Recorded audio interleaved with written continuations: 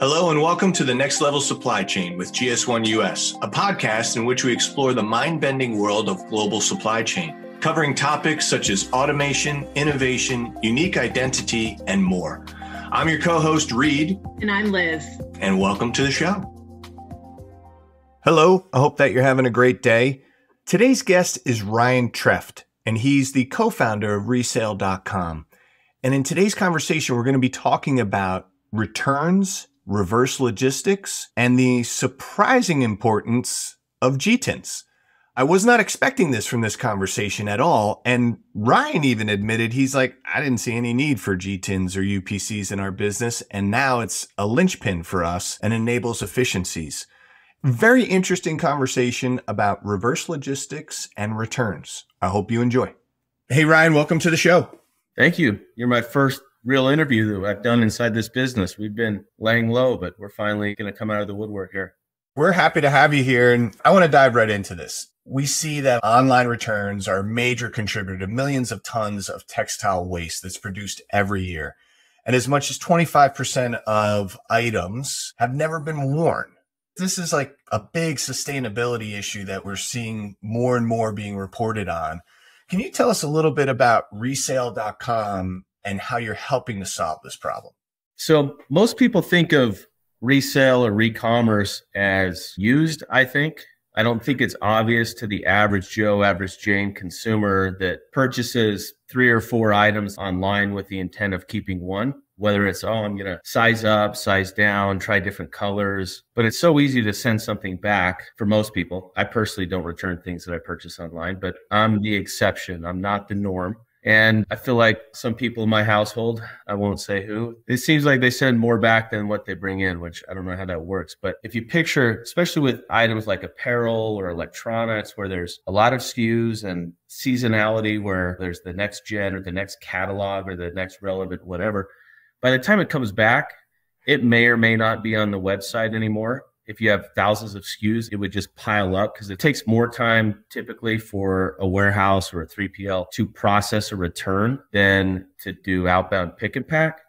And so by the time that stuff goes back, that bin that it came out of may not even exist. So the odds are, especially for the large companies with a lot of SKUs in the right categories, it doesn't go back in the same bin that it came out of. And that's what I don't think that your average consumer understands. Oh, just because it's new with tags and because it's still in its packaging, surely they're going to take that item and put it right back and sell it again. That's not always the case. And depending on who the seller is, sometimes it's never the case, just depending on who they are.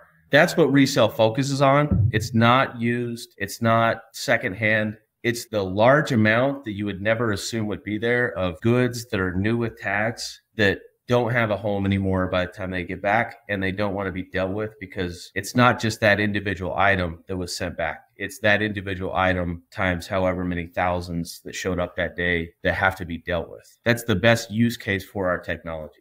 Talk to me a little bit more about your technology and how this comes into play because I understand what you're talking about. It's there's a lot of net new stuff that has just been returned. The only difference in those products is that it's changed locations.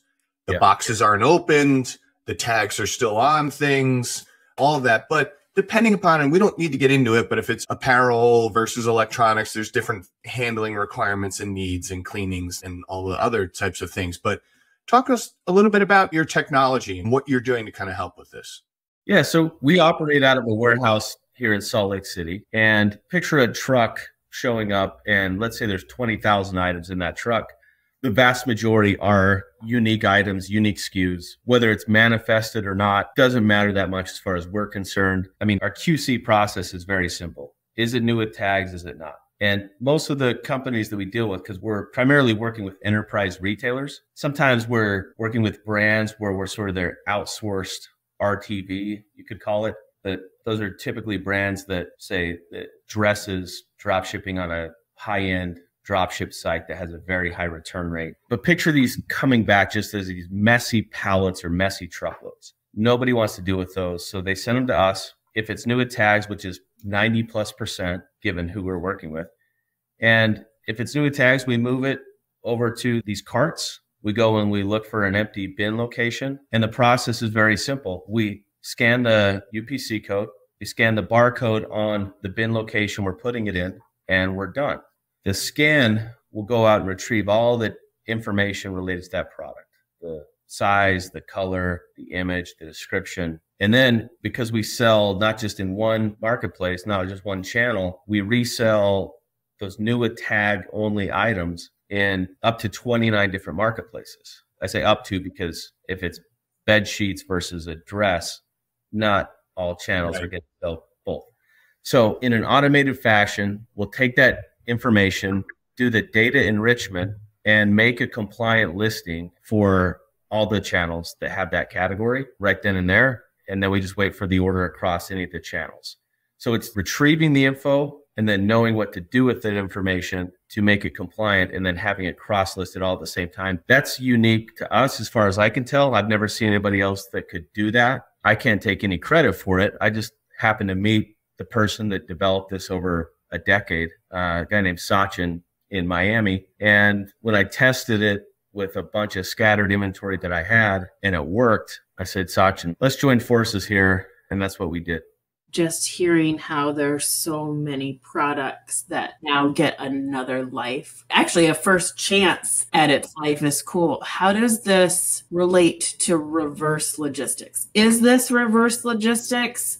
It's one piece of reverse logistics. So you have return enablement companies like Tech Enablement, Loop Returns, Returnly, Happy Returns, Narvar. Primarily, those companies don't touch the goods. They enable a customer to say, Hey, I want to send this back. And then the brand to communicate back, like, here's what you need to do to follow our process to get it back to us. Call that return enablement. Then there's processing and receiving, maybe grading and sorting.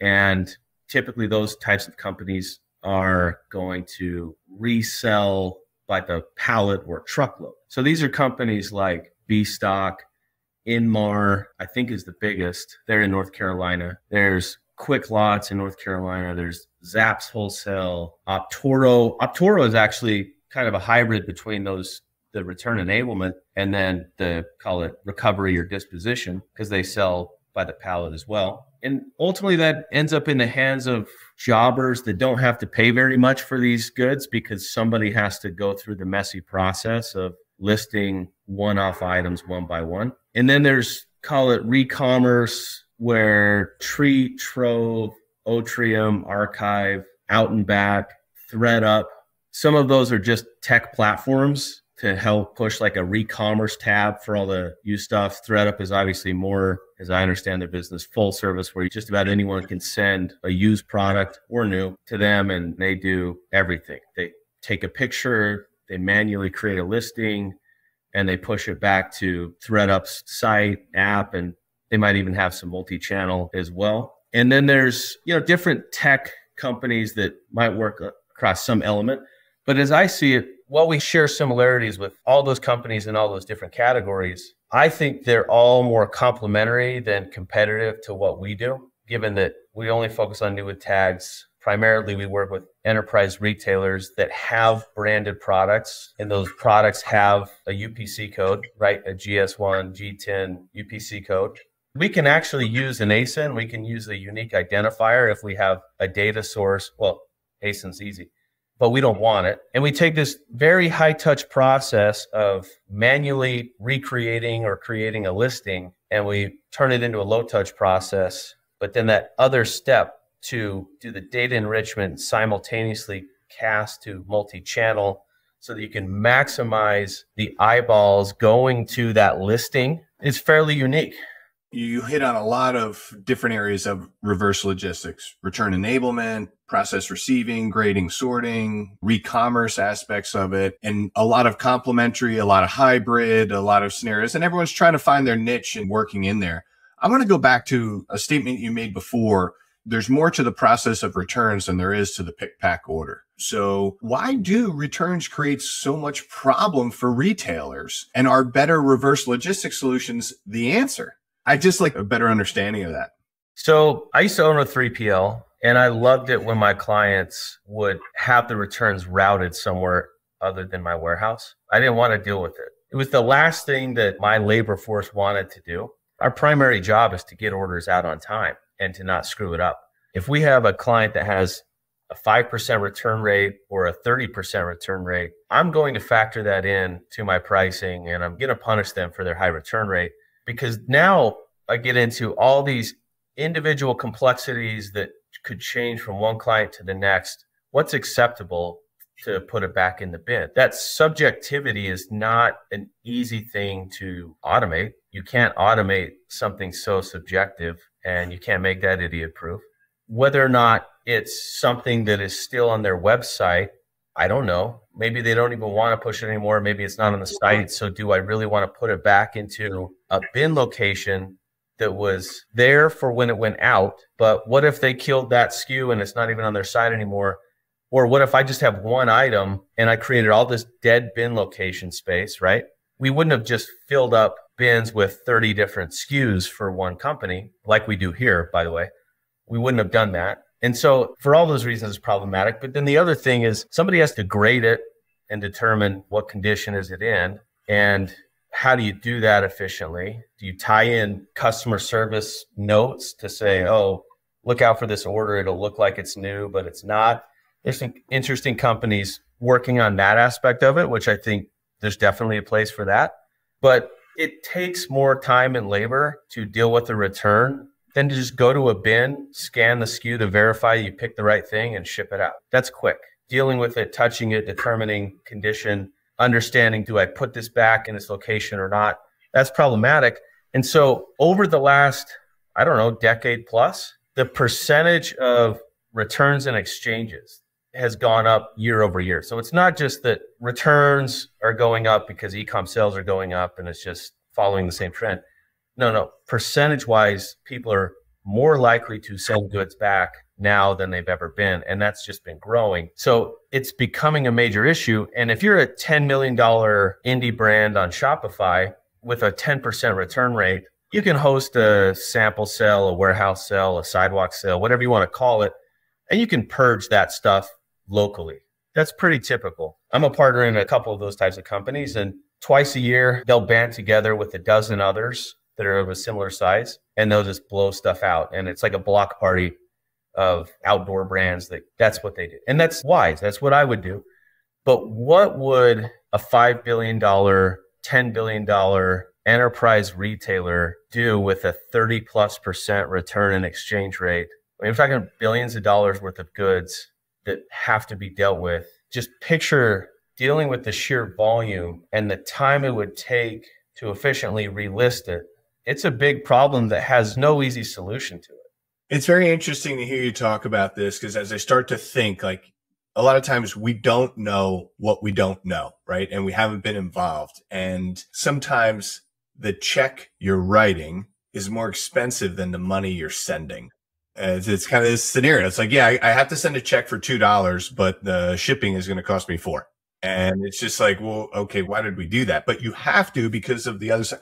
Lots of little checks and balances. And it seems like this is just on a grander scale of all of that. It's people, it's space, yeah. it's rent, it's how long is it sitting there? And the seasonality was something I never thought of and you hit me up on that. I mean, like even with electronics, there's that whole funny thing out there of how some guy makes millions of dollars selling dongles because Apple keeps changing their connections. And I have it now. I have to carry two cords because my iPad and my iPhone don't use the same connection anymore.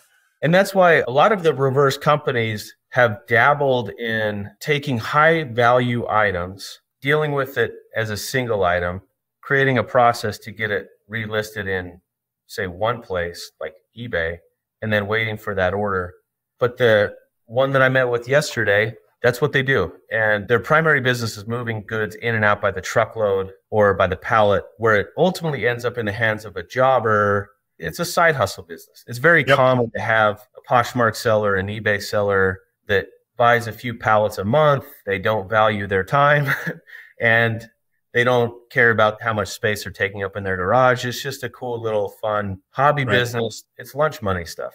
How do you scale that? That's the difficult part, whether it's new with tags or not. Even the new stuff is difficult to scale when you're talking about this messy mixed lot stuff. That's why the scalable resellers and jobbers, they want depth of quantity. They want deep inventory.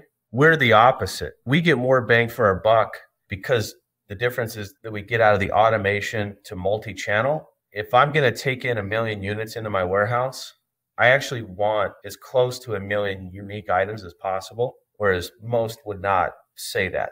They just want to count the inventory, manually create one listing, and just wait for those orders. But I mean, think about it. If you have a million units and say there's an average of 2,000 units per, you don't get any more listings. You can't sell the 2000th item until you've sold one, two, three, four. But to have individuals have a million uniques, think of the difference in terms of like real estate taken up on these channels. So you get way more eyeballs and therefore you get way more bang for your buck.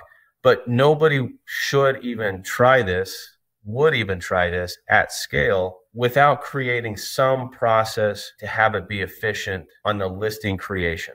I spend a lot of time in the food industry. And so a mixed lot palette is just a whole bunch of different things, right? A whole different bunch of food products or produce products on a palette. Is that the same? Yeah, exactly. So we want the messy stuff okay. that nobody wants to touch. And that's how we've been operating. I have 170,000 square feet here in Utah. But the end game, right now, it's 90 10. 90% of our revenue are the goods that we physically handle. 10% comes from these companies that we're starting to just essentially beta test with for them to use our tech and sometimes to leverage our channels, but ideally set them up with their own kind of a teach a man to fish sort of thing, right? Let's play the long game. Let's get you set up with the same playbook, use our tech to automate this. That's the real scalable piece. So right now that's 90 10. I would say over the next five years, you're going to see it shift towards 90 10 in the other direction because it's such a big problem across so many retailers dealing with so much returns that nobody wants to deal with it that we have no business scaling according to what we touch in our own warehouses with fixed leases. The best thing we can do is give away our tech, make it affordable to use it, and just hand it out to others that right now, whether it's the retailer or the reverse logistics company that takes goods from the retailer, that's who should be using our tech because they can get a much greater recovery. There was a company that we took three containers last year from them. They, these were all goods that were meant to be discarded just because it was too messy for them to deal with.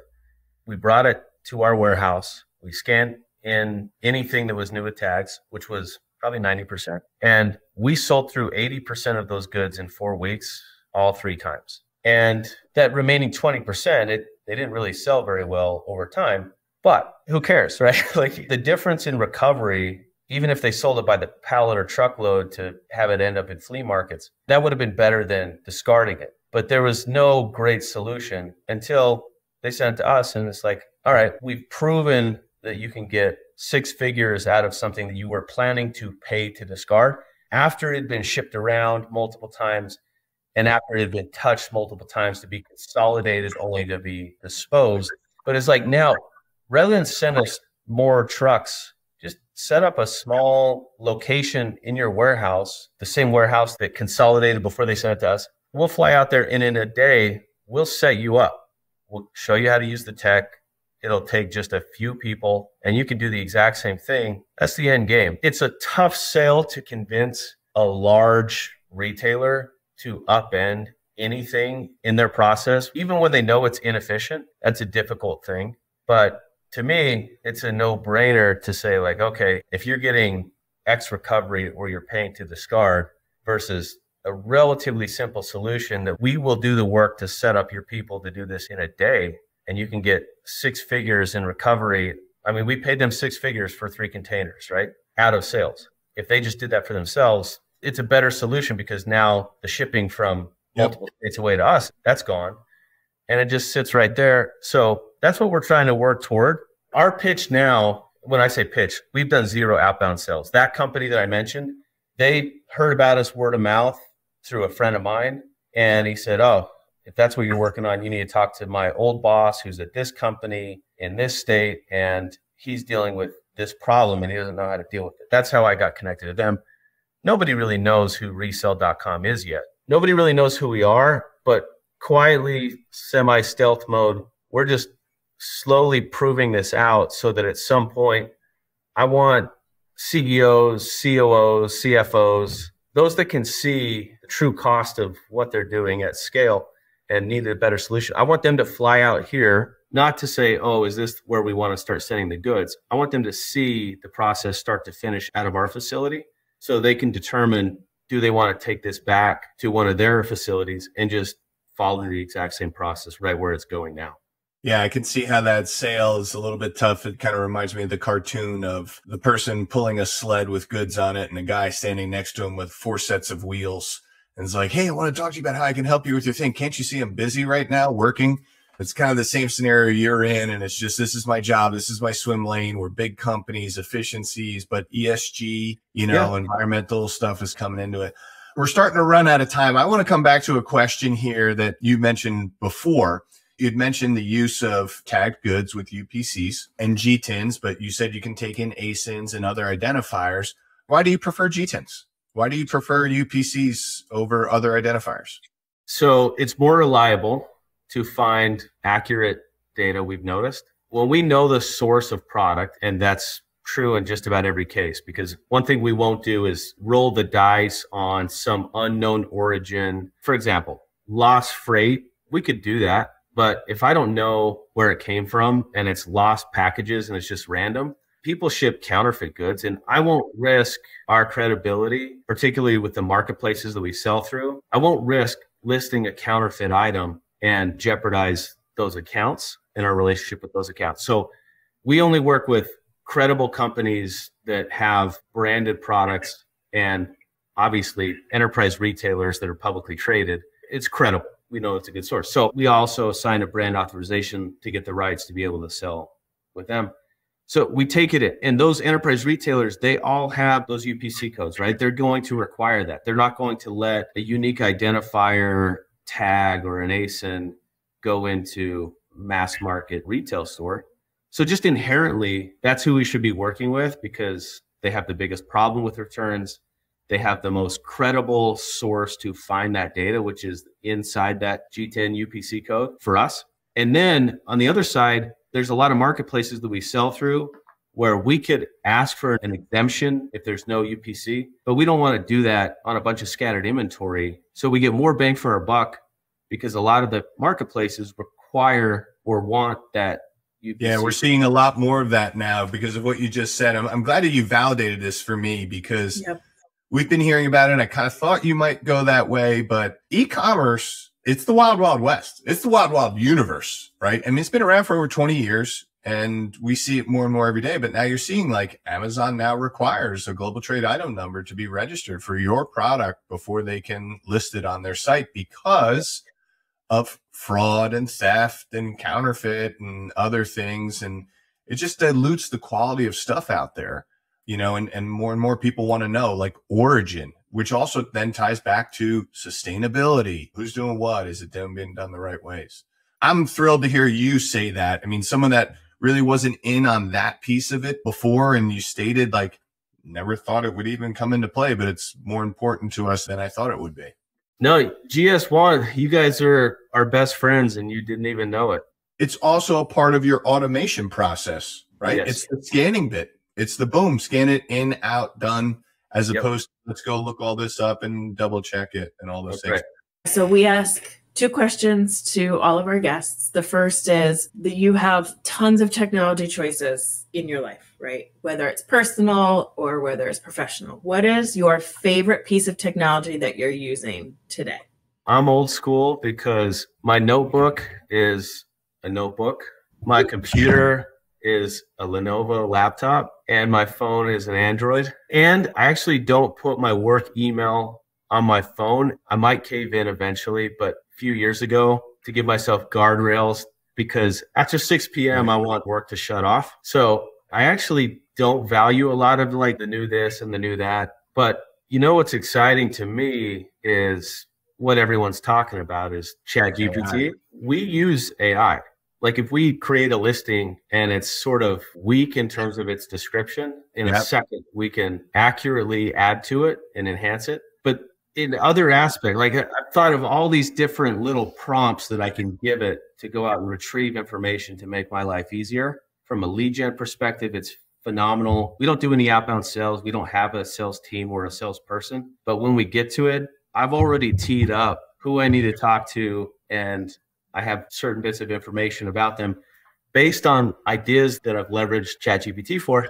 And it can't find everything, but it's incredible. And even if I wanted to send my wife a stupid love poem just to be intentionally cheesy, I had this idea where I was like, you oh, wrote your Valentine's Day card No, I did. using ChatGPT. No, I really did. I had this idea and I was like, oh man, it'd be so funny to write a poem about that and texted to her. And I was like, I'm going to see what would happen if I gave a few prompts. And it gave this long thing. And I texted it to her and her initial reaction was, this is hilarious. AI is incredible. I never told her how I created it. She just, she instantly knew because it was. I mean, it was long. I told it to be funny. I gave it a few things to layer in as to why I was right, what the poem should be about. And she just said, AI is incredible. She knew right off the bat. Right. So- it kind of sounds like you should have wrote roses are red. I'll see you at six. Dinner's on me. Try that, Reed. Give a prompt to your wife when you want to take her to dinner at six and have that turn that into a poem, maybe layer in a few other things. It's incredible, man. It is. I've messed around with it a little bit. The one last thing we would like to know what's blown your mind in your lifetime? You know, either work, personal, related, just something that's blown your mind. if you have a consumer product company, what works now and what will work in five years is so different. The first business that I launched coming out of college, I mean, we sold to QVC and Walmart and Costco and Nordstrom and Dillard's and companies that aren't in business anymore, like Borders Books. The whole approach to that business, we didn't even do e-com sales. Back then, Amazon was a bookseller. This is 2007 to 2012. Instagram hadn't existed yet. There was no Kickstarter nobody had heard of Shopify. And if you sold direct, it was kind of, why would you be doing that? That's what the retailers would ask. And I would say 95 plus percent at least of the retailers that we sold to, not the mass market ones that I mentioned, but the boutiques, they're all gone. The toy shops, the gift shops, the baby stores that we sold to in that era, there's probably 1%, 2% left at best. So that's interesting to me. So when we sold that business in 12 and then I shifted my focus to e-com, a lot of the things that worked five years ago in e-commerce Don't are worry. very different, right? Amazing. I mean, you can't just put up a Kickstarter, spend two grand on marketing and generate $300,000. You can no longer get the bang for your buck on Facebook where you would post an organic post and it would be way better than today's ad that cost you 50K. So you're paying more to get less with all forms of marketing now. And the cost of goods to bring things in is greater than ever. The cost of warehousing is far greater than ever online returns are going up, which is a real expense that nobody really layers into the discussion very often about the struggles of D2C. And so it's interesting where it was like all about brick and mortar when I first started. Then it was all about e-com and then it was about Amazon. And now it's what can I do to not be a D2C purist and to not put all my eggs in a retailer basket? Like there are dozens, if not a hundred plus brands that 50% of their revenue was probably Bed Bath and Beyond. I mean, there's a lot. Now what? So everything changes and it changes relatively quickly. And that'll probably just escalate from here. So the thing that blows my mind is how fast things change and how fast you can become relevant and how fast you can become irrelevant. Unfortunately, Yeah. nobody's really paying attention to how many good brands, good products, but over leveraged companies are just going to call it quits this year and next year. It's sad. You know, I spent my world in the D2C space and it's a battle, it's a struggle. But what does that mean? Because we're Americans, we're going to keep buying stuff. Even if we don't have the money to buy stuff, we will. E-com is not, it's really not going to go anywhere. There's going to be some level of brick and mortar, like malls won't disappear. Retail footprint will have to shrink, I'm sure, but it won't go away. So, what does that mean? I think the unit economics that go into having a sustainable business that's not always on the verge of like, oh, if one thing goes wrong, we're toast. There's just a lot of things that will have to shift. Like, you can't make money building a business selling a $15 anything as a D2C brand.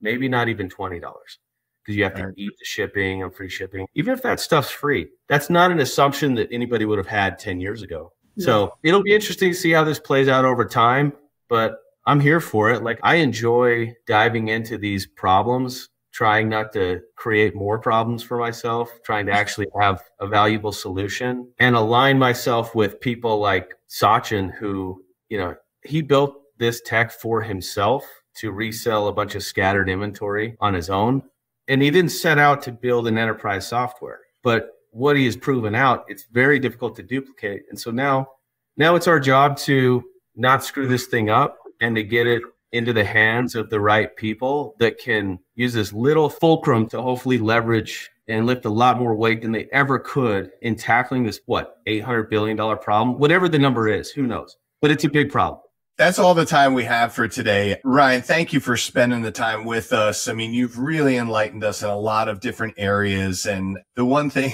there was a lot of things, but I'm like, hmm, he was a 3PL guy that hated to deal with returns. And now he's focused in on returns. It's just find the biggest problem, find the best solution to the problem, and then start driving that problem. So thank you very much for spending the time with us today. I enjoyed it. Thank you. Thank you for joining the Next Level Supply Chain with GS1 US. If you enjoyed today's show, you can subscribe to our feed or explore more great episodes wherever you get your podcasts. Don't forget to share and follow us on social media. Thanks again, and we'll see you next time.